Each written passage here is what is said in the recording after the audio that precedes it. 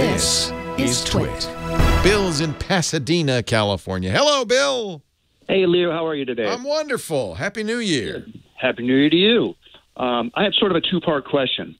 I'm 50 years old and I'm considering a career change, and I'm thinking about learning coding, and and I'm wondering what would be a good language to to start, like Python or Ruby or something like that, and at my, I mean, is it even worth it if I'm looking for work? Like, how would I get work when there's so many 20 somethings that Yeah. already do all this stuff? Is and they're cheap, right? And they're easy, but you so you may or may not I think you can get work. There's huge demand.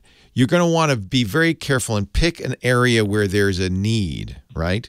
So there's plenty of web front end developers out there, but you're going to pick something that may but all of this will be moot until you uh, learn a language, although the language you choose is even impacted by this. So for so I think a little research based, uh, you know, get out there, do some informational interviews, find out where there's a need. For instance, if there's a need for people who can write code for Windows uh, in Visual Basic, then that then you would want to learn Visual Basic and Visual Studio on Windows.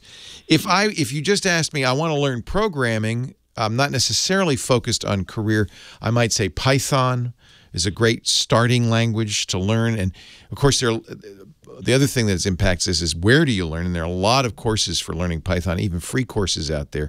Java might be the single, still the single most useful language. Most systems programs are written in C++, a lot of big applications too.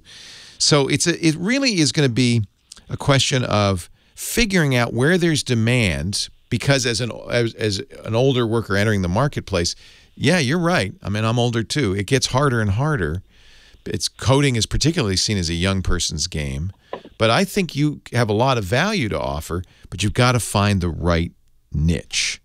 So figure out where there's demand uh, learn the languages that are most useful in that area. That's where you start. You start with demand. There are lots of places you can learn online. This is the good news free or inexpensively and uh, if you're motivated if you're good at it and you love it i think you can always find work. I really do. And it's a boy it's a heck of a lot of fun to program